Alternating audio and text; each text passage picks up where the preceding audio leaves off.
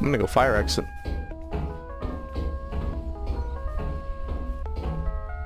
Why do I just see a light shining? No.